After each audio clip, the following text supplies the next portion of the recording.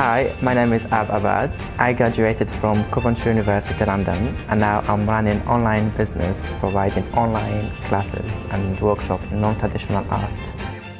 I had an idea of starting my own business in the art, but I needed the, the business skills to start the business and to manage my business especially. And then I heard about the Enterprise Hub. I started getting more information about it and then I knew that this is what I want to do.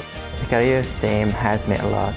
We went through my business plan and we picked all the important points and the concept of this, this project and then we selected again what's fine and what we have to refine and we have to improve and they really helped me a lot to improve my business.